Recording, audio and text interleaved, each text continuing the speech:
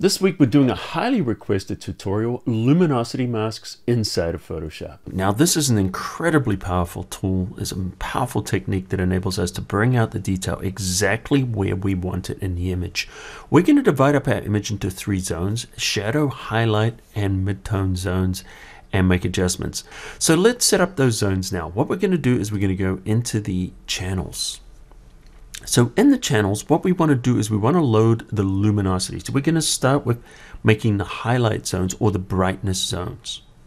So if I hold down the control key and click on the thumbnail on the RGB, it's going to load the lightness or the luminosity. That would be command click on Mac. Now what we want to do is create a new channel based on that selection. So in the channels panel, don't hit the plus here, hit the channel, and then we're going to call this lights. So this is essentially selected the lights. Don't deselect yet. What we want to do now is we want to intersect with this and create even lighter lights.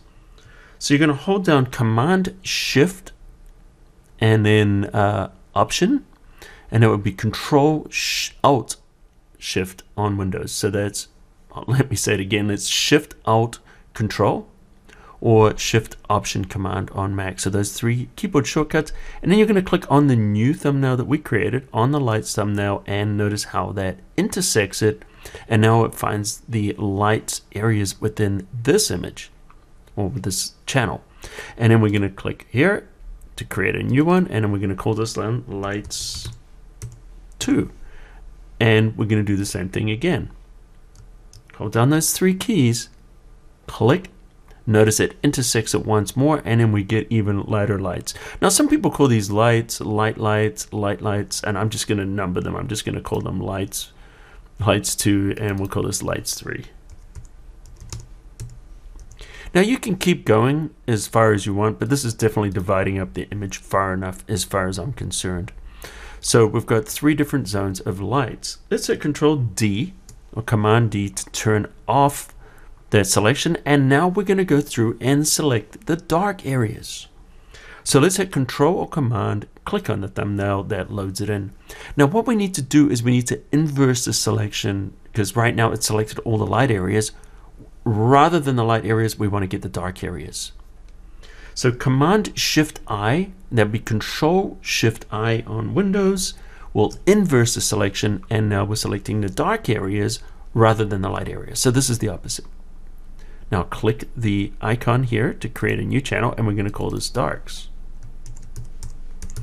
And yes, this is a, more of an advanced technique, so um, but wait till you see what we can do with this. Okay, so we want to intersect the darks and get the darker darks. So hold down the Shift Command option on Mac, Shift Control Alt on Windows, and click on that thumbnail that intersects our darks, and now we want darks 2.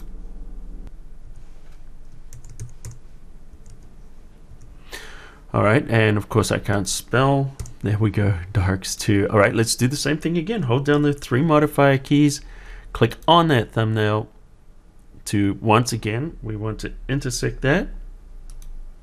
And we've got one more. We're going to call this one darks 3. And if we look at the different thumbnails, we can see, let me just control D to turn it off. Once again, you could keep going, and uh, but with, I think three levels is enough for this tutorial and really for most practical uses. So the light areas are the areas that are going to be the selected. Uh, so those are the areas that we're going to see. So the dark areas are not going to be selected. The light white areas are going to be selected and the gray areas are going to be semi-selected. So that's how it does the tones. Let's just go through some of these. There's darks.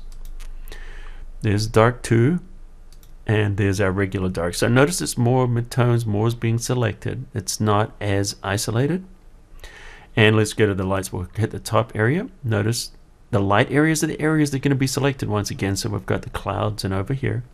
And as we go down, see how it isolates it more and then lights three, just the lighter areas, just the lightest areas. So as we go down, it gets more selective. There's one more zone that we need to set up. Let's click on RGB. And what we need to do now is we need to set up the midtones. So the midtones are basically going to be the entire image minus those darks and minus those lights. That kind of makes sense, right? So with RGB selected, hit Control A, that would be Command A to select all. So now we've selected everything. Now what we want to do is rather than intersect, we want to subtract.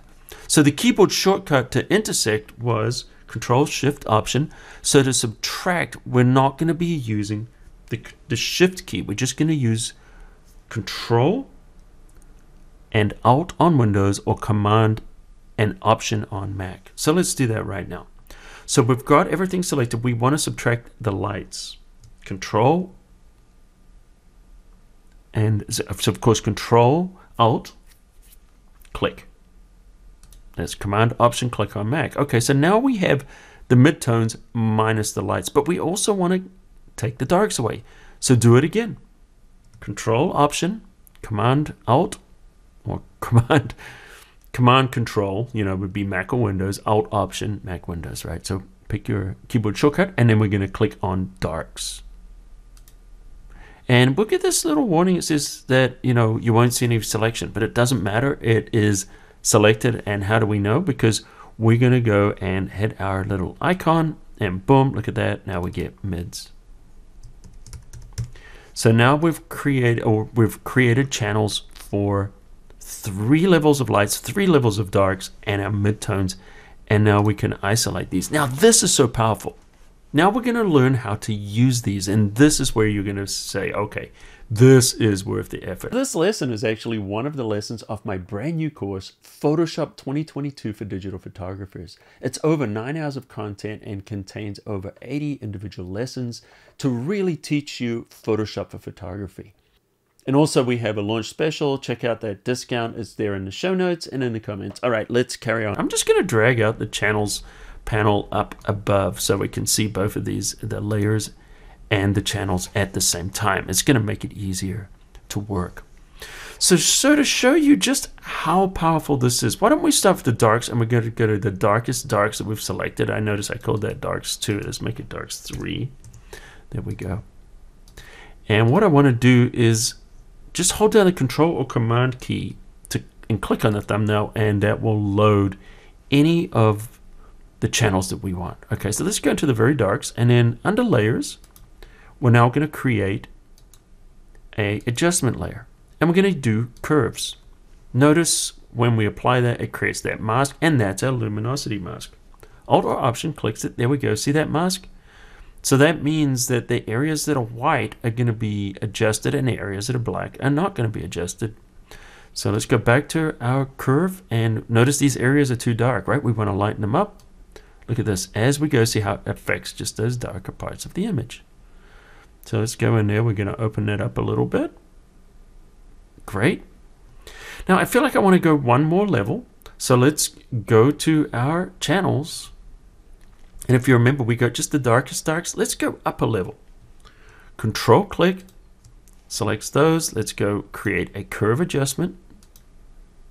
And why don't we adjust that curve? Just darken that down just a little bit because I felt like some of the areas were just a little too, too dark. Okay, great. So we've got that. All right, let's go. I see that light areas are too light. My face here and the picture's blown out, the sky. Let's go and hit some of those. So let's go to the lightest area. Control Command, click on lights 3, which is the lightest part of the image. And let's make sure RGB is selected always. All right, let's grab our curves adjustment. And now we can darken down those light areas. Look at that. See particularly around here. See how it just brings out, you can just really make your image pop. And it's also bringing back some of the color here in the face. Great. So why don't we go ahead and do one more. I'm going to do the midtones. So control click on those mids and it will get that warning. It says no pixels more than 50% selected. The selection edges will not be visible. It doesn't mean that they're not selected. They are selected. It just doesn't show the marching ants. That's all. Okay, so let's go and apply another curve to our midtones. So go under the curves And notice we can hit those midtones. Look at that. We can lighten them or we can darken them. I'm going to darken them down just a little bit because, you know, what I'm seeing is this area here. And there is just a little too bright. And by pulling this down, see how we can just target the different tones inside the image. And it might not seem like we've made a huge difference, but watch this. When I turn off the layers that we've done, this is our luminosity mask. Look at that image before. There's our midtones. There's our highlights. There's our mid shadows. There's our deep shadows. And I actually feel like that's a little much, so we'll take the opacity down a little bit. And notice you can adjust the opacity on these afterwards. Now, if I just wanted to hit any other area, you can see that we can easily do that. So once again, let's look at what we've done here. There's before and there's after. And that is how powerful luminosity masks are. So as you can see, this gives us so much control over the tones in our images. I'm curious, have you guys ever used luminosity masks before? Let me know in the comments underneath. And by the way, let us know where you're from. I'm curious where everybody's from. And if you're new, welcome to Photoshop Cafe. Um, hit that subscribe button, turn on notifications, and you won't miss any of my videos. And do me a favor, guys, if you like this, got any value out of it, hit that thumbs up. That's that like button. It helps the YouTube algorithm. And don't forget to check out my course, Photoshop 2022 for Digital Photographers. It's the fastest way for you to learn and master Photoshop. All right, guys, until next time, I'll see you at the cafe.